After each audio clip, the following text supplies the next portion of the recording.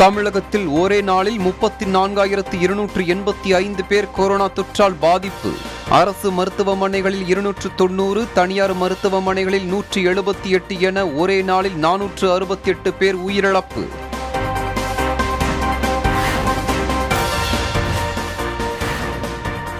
தமிழகத்தில் தற்போது வரை கருப்பு பூஞ்சை நோயால் நூற்று முப்பத்தி ஓரு பேர் பாதிப்பு.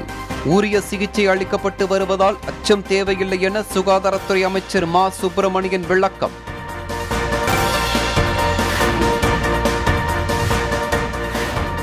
ஆக்சிஜன் படுக்கை வசதிகளை அதிகரித்து உயிரிழப்பு எண்ணிக்கையை குறைக்க வேண்டும். தமிழக அரசுக்கு எதிர்க்கட்சித் தலைவர் எடப்பாடி பழனிசாமி வலியுறுத்தல்.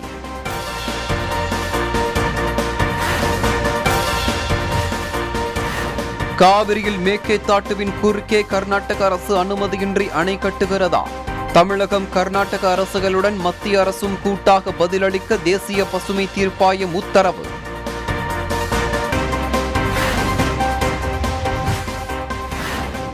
அதிகார வர்க்கத்தின் ஆதரவுடன் தமிழகம் முழுவதும் தலையெடுக்கும் கள்ளச்சாராய விற்பனை. விரைந்து நடவடிக்கை எடுக்காவிட்டால் விபரீத விளைவுகள் ஏற்படும் என பொதுமக்கள் அச்சம்.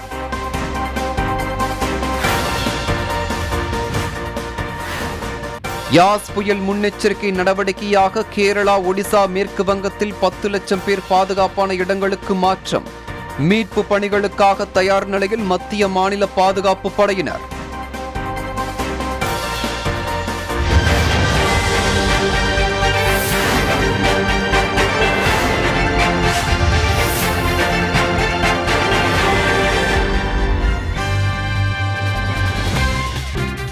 இந்தியாவில் கடந்த இரண்டாயிரத்து இருபது இரண்டாயிரத்து இருபத்தி ஓராம் நிதியாண்டில் மேற்கொள்ளப்பட்ட அந்நிய நேரடி முதலீடு பத்தொன்பது சதவீதம் அதிகரித்து உள்ளதாக மத்திய வர்த்தக மற்றும் தொழில்துறை அமைச்சகம் தெரிவித்துள்ளது.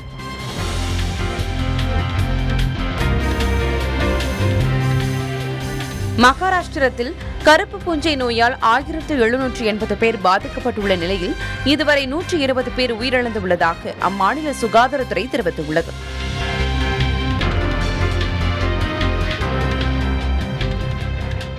கேரளாவில் கல்லமலா வனப்பகுதியில் பதிமூன்று இடங்களில் நிலச்சரிவு ஏற்பட்டுள்ளதால் பொதுமக்கள் பாதுகாப்பான இடங்களில் தங்க வைக்கப்பட்டுள்ளனர்.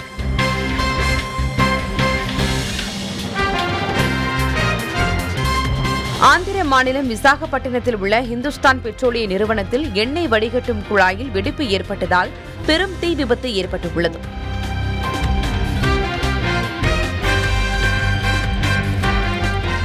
பதினான்கு நாட்களுக்கு பிறகு வரும் ஜூன் ஒன்றாம் தேதி முதல் சர்வதேச விமானங்கள் இயக்கப்படும் என வட அமெரிக்க நாடுகளில் ஒன்றான அல்ஜீரியா தெரிவித்துள்ளது.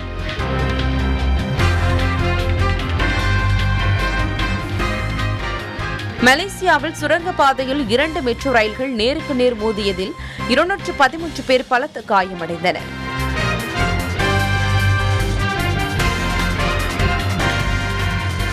அமெரிக்க அதிபர் ஜோ பைடனும் ரஷ்ய அதிபர் விளாடிமிர் புதினும் ஜூன் முதல் வாரத்தில் சுவிட்சர்லாந்தின் ஜெனிவாவில் முதல் முறையாக சந்திக்க உள்ளனர்.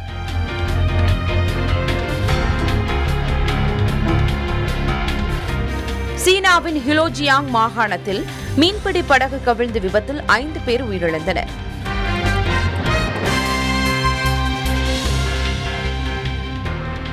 மேற்கு ஆப்பிரிக்க நாடான மாலியில் அதிபர் இப்ராஹிம் பவுபாக்கர் கெய்டா பிரதமர் பாடாவ் ஆகியோரை அதிரடியாக கைது செய்து ராணுவம் ஆட்சியை கைப்பற்றியுள்ளது.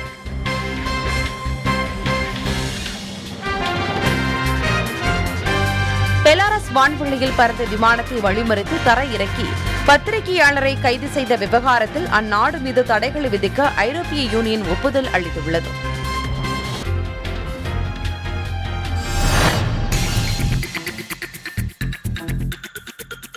தமிழகத்தில் நேற்று ஒரே நாளில் முப்பத்து நான்காயிரத்து இருநூற்று எண்பத்தி ஐந்து பேருக்கு கொரோனா தொற்று உறுதி செய்யப்பட்டுள்ளது. இதில் ஐந்து பேர் வெளி மாநிலங்களில் இருந்து வந்தவர்கள். சுமார் ஒரு லட்சத்து அறுபத்தி இரண்டாயிரம் பேருக்கு பரிசோதனை மேற்கொண்டதில் இந்த எண்ணிக்கை பதிவாகியுள்ளது இதன் மூலம் மொத்த பாதிப்பு எண்ணிக்கை பத்தொன்பது லட்சத்து பதினோராயிரத்து நானூற்று தொன்னூற்று ஆறாக உயர்ந்துள்ளது. உயிரிழப்பு எண்ணிக்கையும் அதிகரித்து உள்ளது. மேலும் நானூற்று அறுபத்தி எட்டு பேர் கொரோனா தொற்றுக்கு உயிரிழந்துள்ளனர். நேற்று ஒரே நாளில் மட்டும் இருபத்தி எட்டாயிரத்து எழுநூற்று நாற்பத்தைந்து பேர் டிஸ்சார்ஜ் செய்யப்பட்டனர். சென்னையில் கொரோனா பாதிப்பு குறையும் சூழலில் கோவையில் வைரஸ் தாக்கம் தீவிரமடைந்துள்ளது. சென்னையில் ஆறாயிரத்துக்கும் மேலிருந்த பாதிப்பு எண்ணிக்கை நான்காயிரமாக குறைந்துள்ளது. கோவையில் புதிய உச்சமாக மூன்றாயிரத்து அறுநூற்று முப்பத்தி இரண்டு பேருக்கு தொற்று உறுதி செய்யப்பட்டுள்ளது.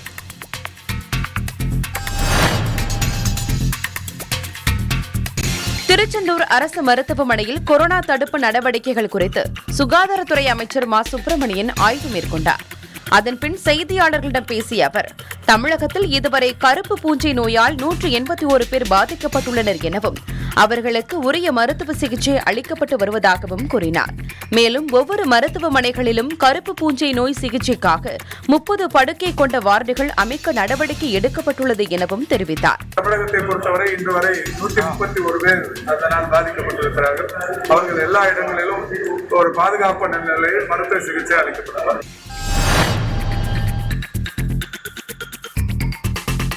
தமிழகத்தில் கொரோனா தொற்று பரவலை கட்டுப்படுத்த வேண்டும் என எதிர்க்கட்சித் தலைவர் எடப்பாடி பழனிசாமி வலியுறுத்தியுள்ளார். சேலம் மாவட்டத்தில் மேற்கொள்ளப்பட்டு வரும் கொரோனா தடுப்பு பணிகள் தொடர்பாக மாவட்ட ஆட்சியரிடம் எடப்பாடி பழனிசாமி கேட்டறிந்தார். அப்போது மருத்துவமனையில் கொரோனா சிகிச்சைக்கு தேவையான படுக்கை வசதிகள் ஆக்சிஜன் மருந்துகள் இருப்பு குறித்தும் கேட்டறிந்தார். இதன் பிறகு செய்தியாளர்களிடம் பேசிய அவர் தமிழகத்தில் தினசரி கொரோனா பாதிப்பு முப்பத்தி ஐந்தாயிரத்திற்கும் அதிகமாக பதிவாகி வருவது கவலை அளிப்பதாகவும் எனவே தமிழக அரசு அதில் தீவிரமாக கவனம் செலுத்த வேண்டும் எனவும் தெரிவித்தார்.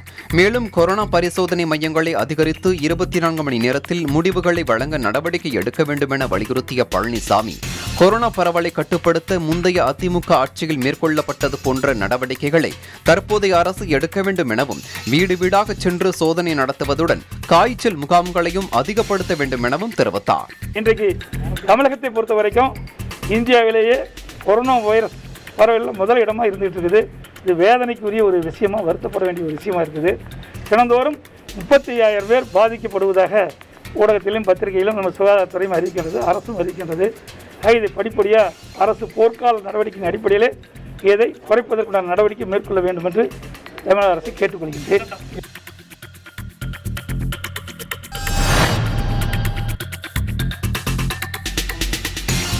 கர்நாடக மாநிலம் மேக்கேதாட்டு அருகே பெங்களூரு நகருக்கு குடிநீர் விநியோகம் செய்வதற்கு ஏதுவாக ஒன்பதாயிரம் கோடி ரூபாய் செலவில் அணை கட்டும் திட்டத்தை கர்நாடக அரசு மேற்கொண்டது. இந்நிலையில் மத்திய வன மற்றும் சுற்றுச்சூழல் அமைச்சகத்தின் ஒப்புதல் இன்றி வன பாதுகாப்பு சட்டம் சுற்றுச்சூழல் தாக்க மதிப்பீட்டு அறிவிப்பின்படி எந்தவொரு அனுமதியும் பெறாத நிலையில் கர்நாடக மாநிலம் மேக்கேதாட்டுவின் அணை கட்டுமானத்துக்காக பொருட்களை குவிப்பதாக செய்திகள் வெளியாகின.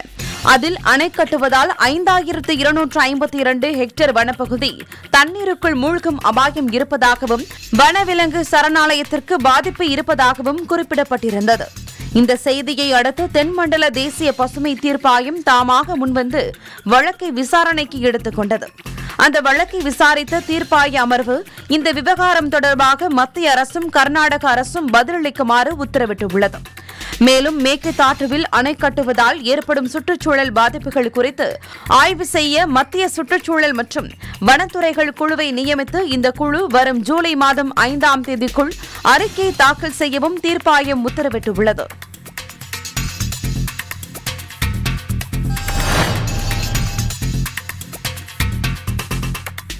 யாஸ் புயல் காரணமாக நான்கு நாட்களுக்கு தமிழகத்தில் மழைக்கு வாய்ப்புள்ளதாக சென்னை வானிலை ஆய்வு மையம் தெரிவித்துள்ளது.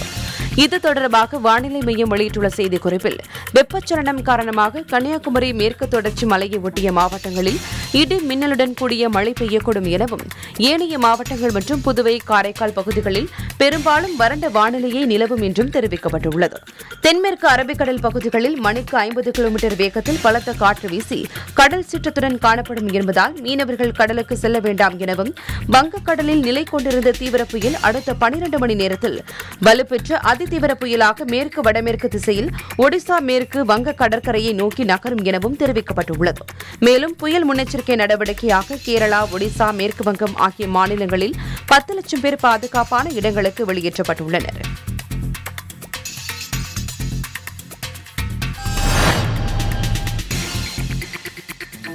தஞ்சாவூர் மாவட்டம் சாந்த பிள்ளைக்கேட் அருகே உள்ள ஆவின் பாலகத்தில் மாவட்ட பால் உற்பத்தியாளர் கூட்டுறவு சங்கத்தின் விதிகளுக்கு முரணாக வடை பஜ்ஜி முறுக்கு உள்ளிட்ட பொருட்கள் விற்பனை செய்யப்படுவதாகவும் கொரோனா ஊரடங்கு விதிகளை கடைபிடிக்காமல் அனுமதிக்கப்பட்ட நேரத்துக்கும் கூடுதலாக பாலகத்தை நடத்தி வந்ததாக தலைமை செயலாளருக்கு மின்னஞ்சல் மூலம் புகார் வந்தது. இதையடுத்து அங்கு ஆய்வு செய்த அதிகாரிகள் அந்த பாலகத்தின் உரிமத்தை ரத்து செய்து பாலகத்தை மூடி சீல் வைத்தனர்.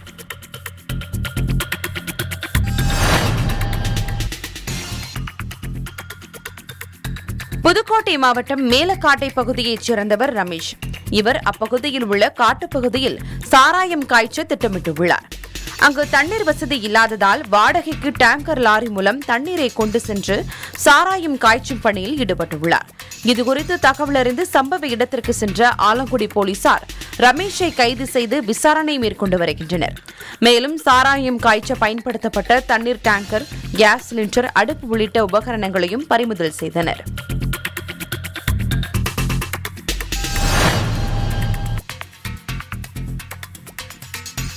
விழுப்புரம் மாவட்டம் வீரபாண்டி கல்லந்தல் ஆதிச்சனூர் வசந்த கிருஷ்ணாபுரம் கோட்டமருதூர் கொடுக்கப்பட்டு காடகனூர் ஆகிய பகுதிகளில் கள்ளச்சாராயம் காய்ச்சப்படுவதாக வந்த தகவலை அடுத்து அரக்கண்டநல்லூர் போலீசார் அப்பகுதியில் அதிரடி சோதனை நடத்தினர். அப்போது பதினைந்து இடங்களில் பதிக்க வைக்கப்பட்ட மூவாயிரம் லிட்டர் சாராய உரலை கண்டெடுத்து அழித்தனர். இது தொடர்பாக ஏழு பேர் மீது வழக்கு பதிவு செய்து அவர்களை தேடி வருகின்றனர்.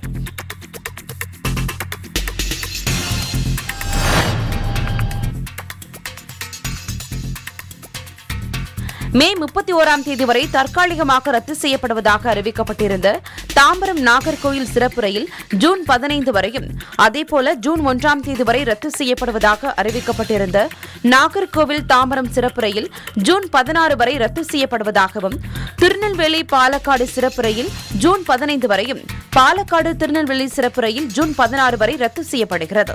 மேலும் doctor MGR Chennai central Mangaluru Kochuveli Mysuru Thiruvananthapuram Mangaluru doctor MGR Chennai central Mettupalayam ஆகிய வழித்தடங்களில் இயக்கப்படும் ரயில்களின் சேவை ஜூன் பதினாறு வரை ரத்து செய்யப்படுகிறது என மதுரை கோட்ட தெற்கு ரயில்வே தெரிவித்துள்ளது.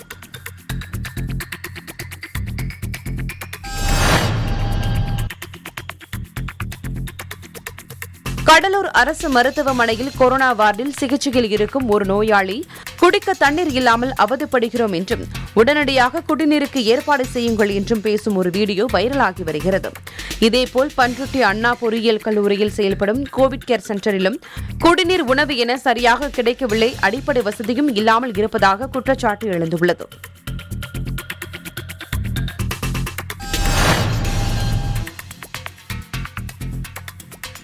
வங்கக்கடலில் உருவான யாஸ் புயல் காரணமாக ராமநாதபுரம் மாவட்டம் ராமேஸ்வரம் பாம்பன் தங்கச்சிமடம் உள்ளிட்ட பகுதிகளில் சுமார் ஐம்பது முதல் அறுபது கிலோமீட்டர் வேகத்தில் சூறை காற்று வீசியது. இதனால் வாகன ஓட்டிகள் மற்றும் சாலையில் நடப்பவர்கள் மிகவும் அவதிக்குள்ளாகினர். அப்போது சூறை காற்றுடன் கடல் சீற்றம் ஏற்பட்டதால் மண்டபம் பூங்கா பகுதிக்குள் கடல் நீர் புகுந்தது. அதனை மண்டபம் பேரூராட்சி ஊழியர்கள் மணல் மூட்டைகளை வைத்து தடுக்கும் பணியில் ஈடுபட்டனர். கடல் சீற்றத்தால் மீனவ கிராமங்களான தோப்புக்காடு சின்னப்பாலம் தெற்கு முத்துவாடி உள்ளிட்ட பகுதிகளில் உள்ள மீனவ குடிசைகளுக்குள் கடல் நீர் உள்ளே புகுந்ததால் மீனவ மக்கள் மிகுந்த சிரமம் அடைந்தனர்.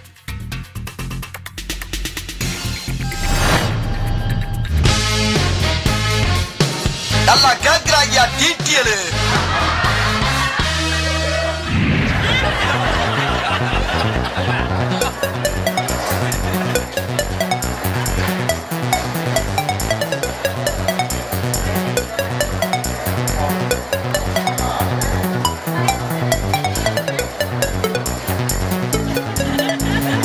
தான் அதிகமாக பெங்களூர்ல இல்லை. கல்கத்தா எனக்கு தெரிஞ்சு கிடையாது. சென்னை. தெரியாது இந்தியாவில் வந்து பார்த்தீங்கன்னா மும்பையில் சார். ஹரியானா டெல்லி அந்த பக்கத்தில் நார்த் சைடு தான் இருக்கிறாங்க மோஸ்ட்லி எனக்கு தெரியல. கேரளாவா? கேரளாண்ணா கேரளா. கேரளா. கேரளா கேரளா. அதான் சொல்லணுமா கேரளான்ட்டு? கேரளா. கேரளா. கேரளா. கேரளா.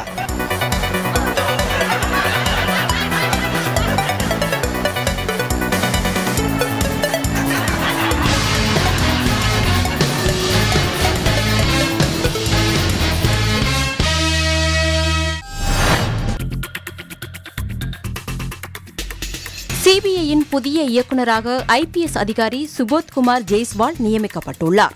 இவர் அடுத்த இரண்டு ஆண்டுகளுக்கு பதவி வகிப்பார் என மத்திய அரசு அறிவித்துள்ளது.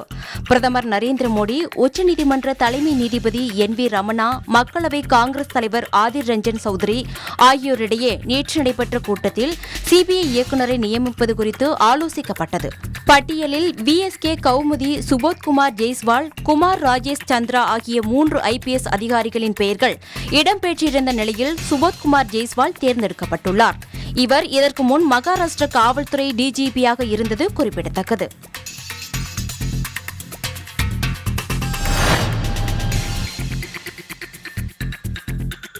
யாஸ் புயல் மேலும் தீவிரமடைந்து ஒரிசாவின் பாலசோர் அருகே பாரதீப் மற்றும் சாகர் தீவுக்கு இடையே அதிதீவிர சூறாவளி புயலாக இன்று மதியம் கரையை கடக்கும் என இந்திய வானிலை ஆய்வு மையம் தெரிவித்துள்ளது.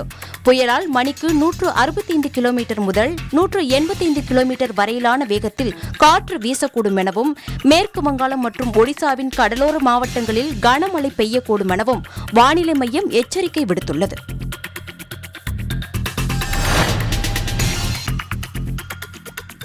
தஞ்சை மாவட்டம் திருவையாறைச் சேர்ந்த வாழை விவசாயி மதியழகன் தனது நிலத்தில் விளைவித்த இரண்டரை டன் வாழைப்பழங்களை மருத்துவமனையில் சிகிச்சை பெற்று வரும் கொரோனா நோயாளிகளுக்கு வழங்குவதற்காக தோட்டக்கலைத்துறைக்கு கொடுத்துள்ளார் தற்போது ஐம்பத்தைந்தாயிரம் வாழைப்பழத்தை வழங்கியுள்ளதாகவும் அடுத்த வாரமும் வாழைப்பழங்களை கொடுக்க உள்ளதாகவும் தெரிவித்துள்ளார்.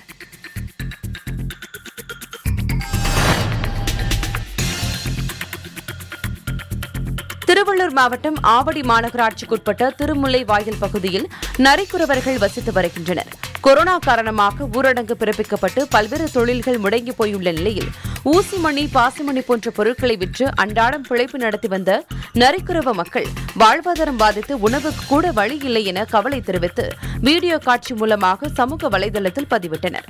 அந்த வீடியோ காட்சியை கண்ட திருவள்ளூர் வருவாய் கோட்டாட்சியர் பிரீத்தி பார்கவி உடனடியாக திருமலை வாயில் நரிக்குறவர் காலனி பகுதிக்கு நேரடியாக வந்து ஒரு மாதத்திற்கு தேவையான பொருட்களை நூற்றி இரண்டு குடும்பத்தினருக்கு ஃபீட் ஆஃப் லவ் எனும் தனியார் தொண்டு நிறுவனம் மூலம் வழங்கியுள்ளார். இதனை பெற்றுக்கொண்ட நரிக்குறவர் மக்கள் நிகழ்ச்சியுடன் நன்றி தெரிவித்தனர்.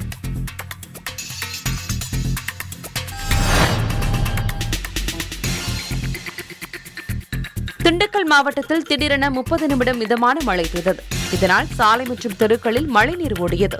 இதனைத் தொடர்ந்து குளிர்ந்த காற்று வீசியது. அதேபோல் திண்டுக்கலை சுற்றியுள்ள ராஜக்கப்பட்டி செட்டிநாயக்கன்பட்டி சென்னமநாயக்கன்பட்டி மாமு கோவிலூர் சின்னாளப்பட்டி உட்பட பல பகுதிகளில் மிதமான மழை பெய்ததால் மக்கள் மகிழ்ச்சி அடைந்தனர்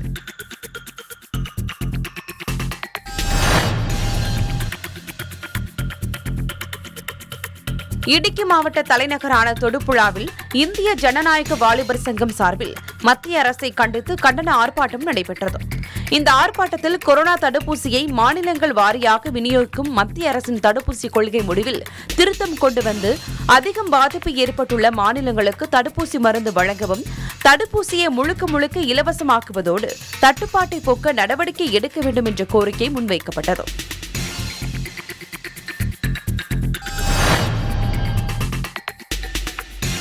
கோவை மாவட்டம் மேட்டுப்பாளையத்தில் உள்ள கல்லார் அரசு தோட்டக்கலை பழப்பண்ணையில் நீர்ச்சத்து மிகுந்த அரிய வகை வாட்டர் ஆப்பிள் பழங்கள் கொத்து கொத்தாய் காய்த்து உள்ளன. வெனிசுலா மற்றும் அந்தமான் நிக்கோபார் தீவுகளை தாயகமாக கொண்ட ஜாவா ஆப்பிள் எனப்படும் வாட்டர் ஆப்பிள் பழங்கள் சுவையோடு மருத்துவ குணமும் கொண்டவை. இவை உண்பவர்களுக்கு வயிற்றுப்புண் உள்ளிட்ட பல்வேறு குடல் தொடர்பான நோய்கள் தீரும் என கூறப்படுகிறது. தற்போது பழங்கள் பழுத்துள்ள நிலையில் பறிப்பதற்கு ஆட்கள் இல்லாததால் வாட்டர் ஆப்பிள் பழங்கள் குரங்குகளுக்கு உணவாகி வருகின்றன. குரங்குகள் ஆப்பிள்களை கடித்து கீழே வீசி வருவதால் மரங்களை சுற்றிலும் வாட்டர் ஆப்பிள் பழங்கள் வீணாக சிதறி கிடக்கின்றன.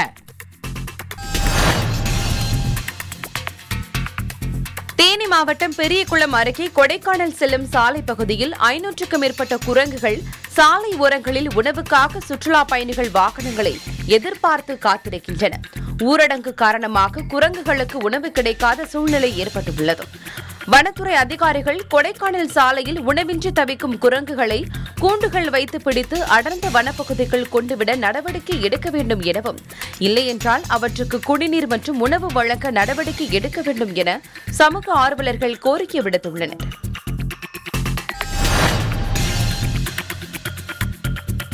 நாகை மாவட்டம் பூசாரி காட்டைச் சேர்ந்த முருகையா இவர் நேதாஜி சுபாஷ் சந்திர போஸின் தேசிய ராணுவத்தில் சேர்வதற்கு நடைபெற்ற தேர்வில் கலந்து கொண்டு தேர்ச்சி பெற்றார். ஆங்கிலேயர்களுக்கு எதிராக போரில் ஈடுபட்ட போது கைது செய்யப்பட்டு மியான்மர் நாட்டில் உள்ள ரங்கூன் சிறையில் இருபது மாதம் சிறை தண்டனை பெற்றார். பின்னர் வெள்ளையினை வெளியேறு இயக்கத்தின் பொன்விழா ஆண்டில் அப்போதைய முதல்வர் ஜெயலலிதா முருகையாவிற்கு பாராட்டு சான்றிதழ் வழங்கி கௌரவித்தார். கத்திரிப்புலத்தில் குடும்பத்துடன் வசித்து வந்த முருகையா தனது தொன்னூற்றி ஏழாவது வயதில் உடல்நலம் பாதிக்கப்பட்டு உயிரிழந்தார். இவருக்கு இந்திய தேசிய ராணுவத்தில் பணியாற்றியமைக்கு மரியாதை செலுத்தும் வகையில் முருகையாவின் உடலில் இந்திய தேசிய கொடி போர்த்தப்பட்டு மரியாதை செலுத்தப்பட்டது.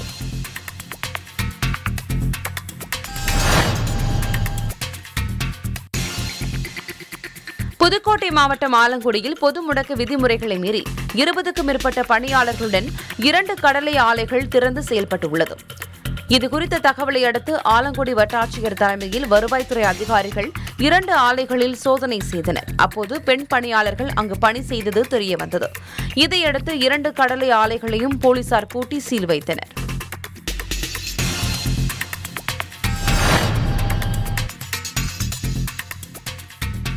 தேனி மாவட்டத்தில் ஒரே நாளில் மேலும் நானூற்று இருபத்தி ஏழு பேருக்கு புதிதாக தொற்று உறுதி செய்யப்பட்டுள்ளது. இதுவரை பாதிப்பு முப்பத்தி மூன்றாயிரத்தை நெருங்குகிறது. இதுவரை கொரோனாவால் உயிரிழந்தவர்களின் எண்ணிக்கை முன்னூற்று பதினைந்தாக அதிகரித்துள்ளது.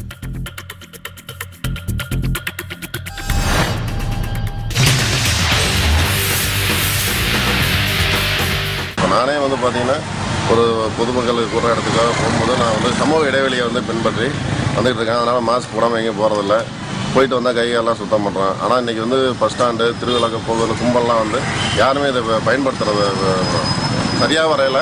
சரியான முறையில் யாரும் இதை பின்பற்றல அரசு விதிமுறைகளை பண்ணும்போது தான் நம்ம நம்ம வந்து தற்காத்து கொள்ள முடியும். ரெண்டாவது ஆளை வந்து வேகமாக பரவிட்டு இருக்குது. நம்மலாம் வந்து உஷாராக இருக்கணுங்கிறது என்னோட கருத்து. நான் வந்து விழிப்புணர்வோடு இருக்கேன். தேவையில்லாமல் வெளியே வரதில்லை கொரோனா பரவலை தடுப்பதற்கு ஒவ்வொருத்தரும் ஒத்துழைச்சாதான் தடுக்க முடியும். இப்போ படித்தவர்களே வந்து நம்ம சரியான சுகாதாரத்தை கடைபிடிக்காமல் ரோட்டில் எச்சல் துப்பிட்டு வெத்தலை பக்கம் போட்டு துப்பிட்டு சளி துப்பிட்டு போகிறாங்க அதெல்லாம் இல்லாமல் ரோடெல்லாம் சுத்தப்படுத்தி வச்சுக்கணும். டிஸ்டன்ஸை மெயின்டைன் பண்ணணும். ரெண்டாவது அரசு விதிக்கிற விதிமுறைகளை கடைபிடிச்சிக்கிட்டு ரொம்ப கட்டுப்பாடாக இருந்தால் கொரோனா பரவுறதை தடுக்கலாம். இல்லைன்னா கொரோனாவோட பாதிப்பு அதிகமாக தான் ஆகிட்டு கொரோனா பரவல் வந்து பொதுமக்கள் அதிகமாக நடமாடுற பகுதியில் அதிகமாக தான் அதிகமாக பரவுது. அந்த சுய கட்டுப்பாடு இருந்தால் கொரோனா பரவலை கட்டுப்படுத்த முடியும். சமூக இடைவெளியை பொதுமக்கள் கடைபிடிக்கணும். முகக்கவசம் அவசியம் அணியணும். அது மாதிரி சின்ன சின்ன நடைமுறை கடைபிடித்தாலே கொரோனா பரவலை தடுக்க முடியும். கொரோனா அதிகமான அளவுக்கு பரவி இருக்க காரணமே மக்கள்கிட்ட இருக்கக்கூடிய ஒரு ஒழுக்க கட்டுப்பாடு இல்லாத நம்பர் ஒன் சுகாதாரம் இல்லாத நம்பர் டூ தேர்டு தன்னை முதல்ல பாதுகாத்துக்கிட்டு மற்றவர்களுக்கு வந்து நாம பரவடாம தடுக்கிறதுக்கு ஏதாவது ஒரு பாதுகாப்பை தேடி முயற்சி எடுத்தா பரவாயில்ல. எடுக்கிற ஆகாரம் சரியில்லை நடவடிக்கை சரியில்லை. உடுத்தக்கூடிய ஒ- துணிமணிகள் ஒரு சுகாதாரம் கிடையாது. பழகிற வித சுகாதார நிலையில் சுகாதாரம் இல்லாத ஒரே காரணம் தான் அதிகபட்சமாக பரவுது. இப்போ ஒரு பஸ்ஸை டிரான்ஸ்போர்ட் எடுக்கிறீங்கன்னா அதில் இப்போ சண்டி போயிட்டு இருக்கு ஒரு கண்டக்டர் என்ன நூறு பேர் தொட்டு வர்றாரு. அப்போ அந்த இடத்துல பரவக்கூடிய வாய்ப்பு இருக்கு. எல்லாரும் வீட்லேயும் டோர் டு டோர் போய் யார் யார் பண்ணியிருக்கீங்க யார் யார் கொரோனா ட்ரீட்மெண்ட் எடுத்துருக்கீங்கன்னு செக் பண்ணால் நூற்றுக்கு எழுபது சதவீதம் கண்டிப்பாக இந்த கொரோனாக்குள்ள மாட்டுவாங்க. அவங்களுக்கு தான் வழிமுறை பண்ண முடியுமா? அரசாங்கமோ சுகாதார அமைப்போ முயற்சி பண்ணால் வாழ்த்துக்கள்.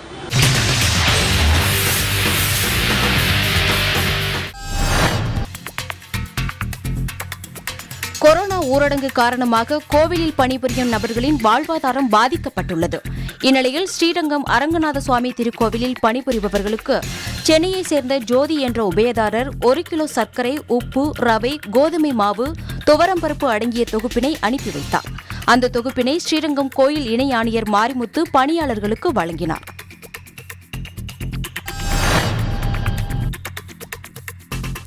ராமநாதபுரம் மாவட்டம் பரமக்குடி அருகே உள்ள பெரும்புசேரி கிராமத்தைச் சேர்ந்த நண்பர்கள் குழு சார்பாக உணவின்றி தவிக்கும் நூற்றுக்கும் மேற்பட்ட ஆதரவற்றோருக்கு உணவு வழங்கப்படுகிறது. இது பொதுமக்கள் மத்தியில் நிகழ்ச்சியை ஏற்படுத்தியுள்ளது.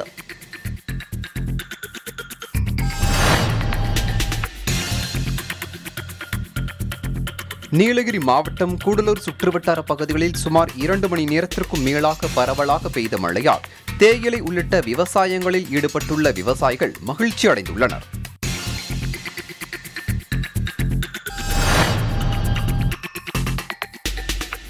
செங்கல்பட்டு மாவட்டம் கல்பாக்கம் அடுத்த வெங்கம்பாக்கம் பகுதியைச் சேர்ந்தவர் மு. பார்வதி. இவர் மாமல்லபுரம் அரசு மருத்துவமனையில் துணை செவிலியராக பணியாற்றி வந்தார். இங்கு பணியாற்றி வந்த ஒரு மருத்துவர் மருந்தாளுநர் துணை செவிலியர் பார்வதி உள்ளிட்ட ஆறு பேர் கொரோனா தொற்றால் பாதிக்கப்பட்டு செங்கல்பட்டு அரசு மருத்துவமனையில் சிகிச்சை பெற்று வந்தனர். இந்நிலையில் துணை செவிலியர் பார்வதி மூச்சுத் திணறல் ஏற்பட்டு சிகிச்சை பலனின்றி உயிரிழந்தார். இச்சம்பவம் மாமல்லபுரம் அரசு மருத்துவமனை மருத்துவர்கள் பணியாளர்களை சோகத்தில் ஆழ்த்தியுள்ளது.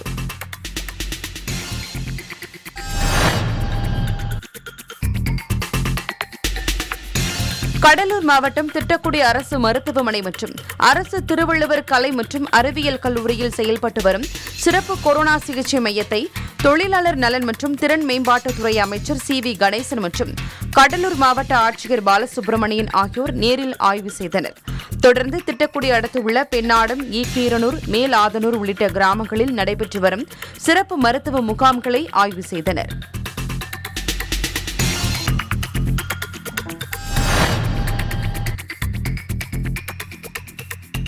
மதுரை கீழமாசி வீதியில் உள்ள பள்ளிவாசலை சேர்ந்த இஸ்லாமிய இளைஞர்கள் பள்ளிவாசலில் சுமார் ஆயிரம் பேருக்கு உணவு சமைத்து ரயில் நிலையம் பேருந்து நிலையம் உள்ளிட்ட பல பகுதிகளுக்கு சென்று ஆதரவற்றோருக்கு உணவு வழங்கி வருகின்றனர்.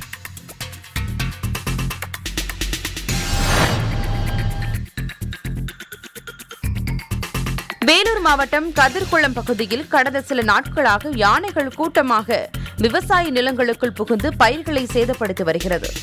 இதனால் வனத்துறையினர் மற்றும் விவசாயிகள் பட்டாசுகள் வெடித்து யானைகளை காட்டுக்குள் விரட்டி அடித்து வருகின்றனர்.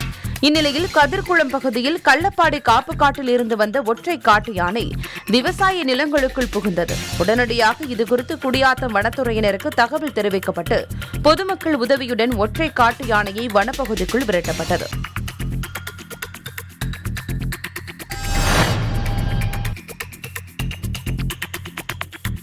குமரி மாவட்டம் கோதையார் பேச்சுப்பாறை திருப்பரப்பு குலசேகரம் உட்பட பல்வேறு மலையோர பகுதிகளில் கனமழை பெய்தது. மழை காரணமாக மாவட்டத்தின் பல்வேறு பகுதிகளில் நீர் பெருக்கெடுத்து ஓடியது. இதுபோல் நாகர்கோவில் மாநகராட்சி பகுதிகளான கோட்டார் செட்டிக்குளம் சாலை உட்பட பல மாநகராட்சி பகுதிகளில் தண்ணீர் பெருக்கெடுத்து ஓடுகிறது. மழையால் மாவட்டத்தில் உள்ள அதிகமான நீர்நிலைகளும் நிரம்பியது.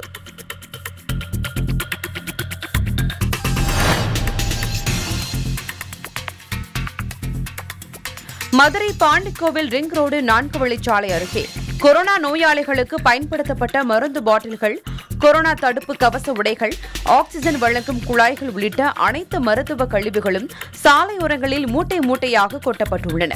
இதனால் தொற்று பரவும் அபாயம் ஏற்பட்டுள்ளது. விதிகளை மீறி மருத்துவ கழிவுகளை கொட்டிச் சென்ற நபர்கள் மீது நடவடிக்கை எடுக்க வேண்டும் என்ற கோரிக்கை எழுந்துள்ளது.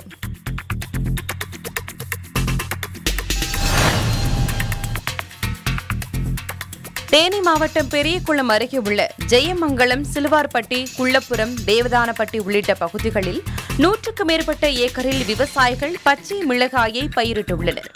நல்ல விளைச்சல் இருந்தும் ஊரடங்கு காரணமாக விற்பனையாகாததால் பச்சை மிளகாய்களை பறிக்காமல் விற்றுள்ளதால் அவை செடியிலேயே பழுத்து வருவதாகவும் இதனால் பெரும் நஷ்டம் ஏற்பட்டுள்ளதாகவும் விவசாயிகள் வேதனை தெரிவிக்கின்றனர்.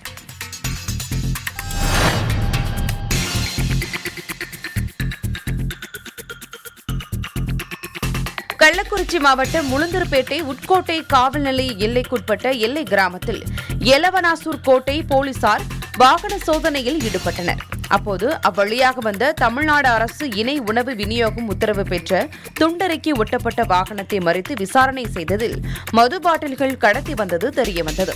இதனையடுத்து நத்தாமூர் கிராமத்தைச் சேர்ந்த பாஸ்கரன் சக்திவேல் ஆகிய இருவரையும் போலீசார் கைது செய்து அவர்களிடம் இருந்து அறுநூற்று எழுபத்தி இரண்டு மது பாட்டில்களை பறிமுதல் செய்தனர்.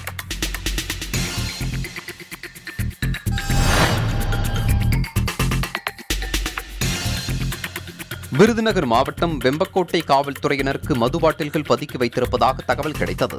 அதன் அடிப்படையில் காவல்துறையினர் நடத்திய சோதனையில் கொட்டமடக்கிப்பட்டி கிராமத்தில் மாட்டு தொழுவத்தில் பதுக்கி வைக்கப்பட்டிருந்த சுமார் அறுநூற்று முப்பத்தி நான்கு மது பாட்டில்களை பறிமுதல் செய்தனர். இதில் தொடர்புடைய பெரியசாமி என்பவரை கைது செய்து விசாரணை மேற்கொண்டு வருகின்றனர்.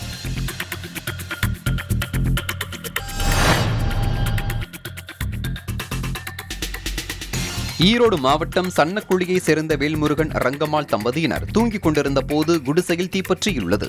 பின்னர் இருவரும் வீட்டிற்கு வெளியே ஓடி வந்தனர். அப்போது வீட்டிற்குள் இருந்த சமையல் சிலிண்டர் வெடித்தது. இதுகுறித்த தகவலை அடுத்து தீயணைப்பு வீரர்கள் ஒரு மணி நேரம் போராடி தீயை அணைத்தனர். விபத்தில் நாற்பத்தி ஒன்பதாயிரம் ரொக்கம் வீட்டு பத்திரங்கள் துணிகள் உள்ளிட்டவை தீயில் எரிந்து முற்றிலும் சேதமடைந்தது.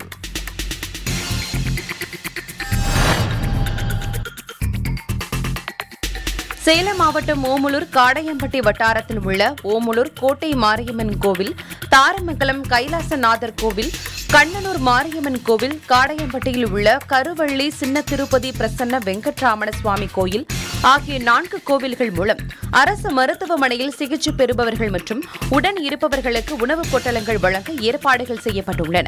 இன்று முதல் தினமும் இருநூறு உணவுப் பொட்டலங்கள் வழங்கப்படுகின்றன.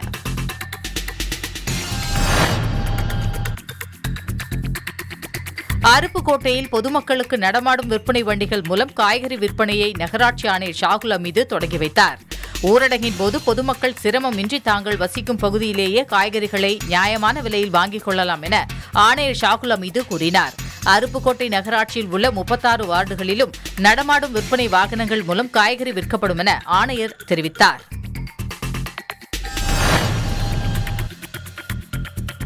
நாகை நகராட்சி நிர்வாகம் சார்பில் வாகனங்கள் மூலம் இன்று காய்கறிகள் பழங்கள் விற்பனையை மாவட்ட ஆட்சியர் பிரவீன் நாயர் நகராட்சி அலுவலகத்தில் இருந்து வாகனத்தை துவக்கி வைத்தார். முன்னதாக பதினெட்டிலிருந்து நாற்பத்தி நான்கு வயதுடைய நகராட்சி ஊழியர்கள் வங்கி ஊழியர்கள் பொதுமக்கள் உள்ளிட்டவர்களுக்கு கொரோனா தடுப்பூசி போடப்பட்டது.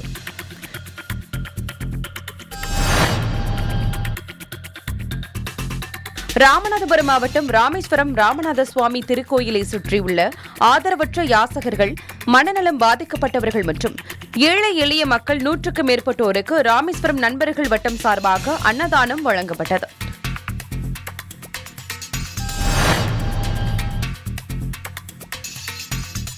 மதுரை கோரிப்பாளையம் சோதனை சாவடியில் சிவானந்தம் என்ற கூலி தொழிலாளி வித்தியாசமான முறையில் கொரோனா விழிப்புணர்வை ஏற்படுத்தி வருகிறார்.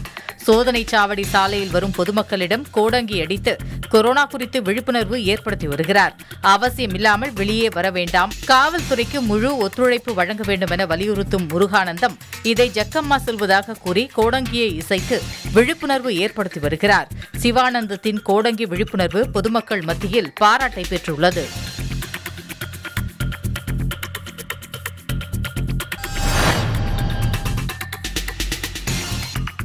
குமரி மாவட்டத்தில் பதினெட்டு வயது முதல் நாற்பத்தி நான்கு வயது வரையிலான நபர்களுக்கு தடுப்பூசி போடும் பணி தொடங்கியுள்ளது.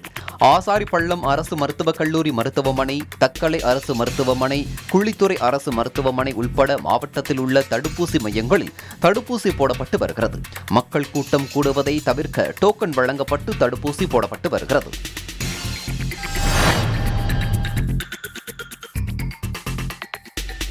வால்பாறை அரசு மருத்துவமனையில் ஆக்சிஜன் தயாரிப்பு நிலையம் அமைக்க இடம் தேர்வு செய்யப்பட்டது. இந்த நிலையம் அமைக்க உதவி செய்யும் எண்ணத்தில் சண்முக சுந்தரம் தன்னார்வலர்களிடம் இருந்து ஒரு லட்சத்து ஐம்பத்தி இரண்டாயிரம் ரூபாய் நிதி திரட்டியுள்ளார்.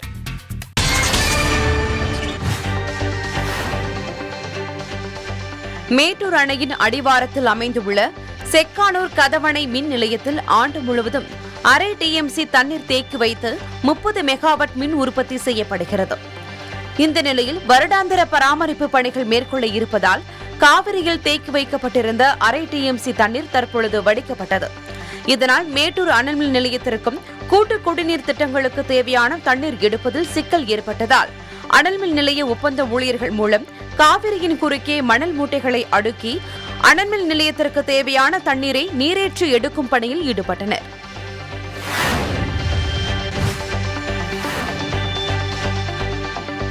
அரியலூர் மாவட்டம் ஜெயங்கொண்டம் பகுதியில் சர்க்கஸ் நடத்த வந்த தொழிலாளர்கள் ஊரடங்கு மற்றும் கொரோனா தாக்கத்தால் கடந்த ஒரு வருடமாக அங்கே தங்கியுள்ளனர். தற்போது இரண்டாவது கொரோனா அலையில் ஐம்பதுக்கும் மேற்பட்ட சர்க்கஸ் தொழிலாளர்கள் வாழ்வாதாரம் இழந்து உணவிற்கே தவித்து வருகின்றனர். இதை அறிந்த திருச்சி மண்டல டிஐஜி திருமதி ஆனி விஜயா காவல்துறை சார்பில் அரிசி கோதுமை உள்ளிட்ட பதினைந்தாயிரம் மதிப்புள்ள உணவுப் பொருட்கள் அடங்கிய தொகுப்பினை அவர்களுக்கு வழங்கினார்.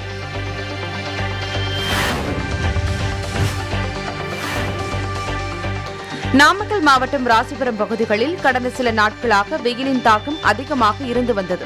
இந்நிலையில் மெட்டாலா முள்ளுக்குறிச்சி திம்மநாயக்கன்பட்டி ஆயில்பட்டி உள்ளிட்ட பகுதிகளில் காற்றுடன் கூடிய கனமழை பெய்தது. இதனால் பொதுமக்கள் மற்றும் விவசாயிகள் பெரிதும் மகிழ்ச்சி அடைந்தனர்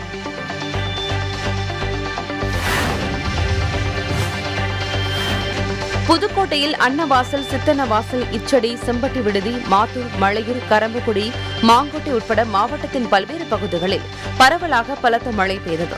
அரை மணி நேரத்திற்கு மேலாக பெய்த பலத்த மழையால் வெயிலின் தாக்கம் குறைந்தது. இதனால் விவசாயிகளும் பொதுமக்களும் மகிழ்ச்சி அடைந்தனர்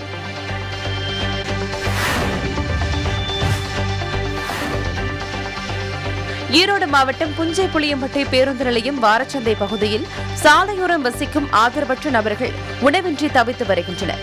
இதை அறிந்த தனியார் தொண்டு நிறுவனத்தினர் தினமும் மதிய உணவு வழங்க திட்டமிட்டனர்.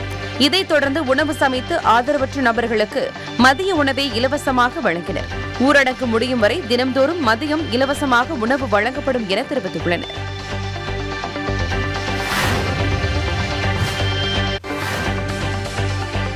சிவகங்கை மாவட்டம் ஜெயங்கொண்டத்தைச் சேர்ந்த சேந்தலை அறக்கட்டளையின் சார்பாக கொரோனா பேரிடர் கால உதவியாக தேவக்கோட்டை அரசு மருத்துவமனைக்கு இருபது இரும்பு கட்டில்கள் மெத்தை தலையணை என இரண்டு லட்சம் மதிப்பிலான பொருட்கள் நன்கொடையாக வழங்கப்பட்டது.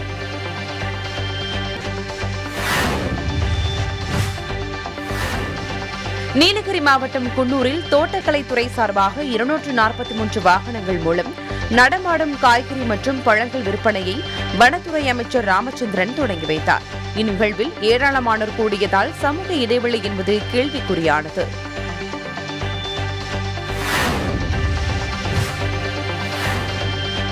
வேலூர் மாவட்டம் அடுக்கும்பாறையில் நெடுஞ்சாலை ஓரமாக கழிவுநீர் கால்வாயில் ஒரு குழந்தை எரிக்கப்பட்ட நிலையில் கிடப்பதாக காவல்துறையினருக்கு தகவல் தெரிவிக்கப்பட்டது. இதனையடுத்து சம்பவ இடத்திற்கு சென்ற போலீசார் குழந்தையின் உடலை கைப்பற்றி வேலூர் அரசு மருத்துவமனைக்கு பிரேத பரிசோதனைக்காக அனுப்பி வைத்து விசாரணை மேற்கொண்டு வருகின்றனர்.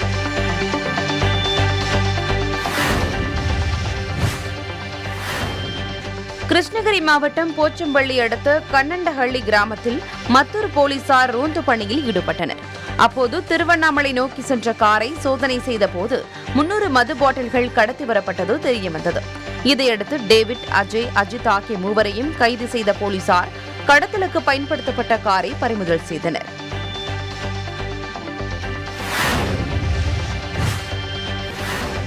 தென்காசி மாவட்டம் சங்கரன் கோவில் போக்குவரத்து பணிமனையில் கொரோனா தடுப்பூசி முகாம் நடைபெற்றது. இதில் போக்குவரத்து ஊழியர்கள் பங்கேற்று தடுப்பூசி செலுத்திக் கொண்டனர். இதேபோல் லட்சுமியாபுரம் உள்ளிட்ட மூன்று இடங்களில் நடைபெற்ற தடுப்பூசி முகாமில் நூறு நபர்கள் தடுப்பூசி செலுத்திக் கொண்டனர்.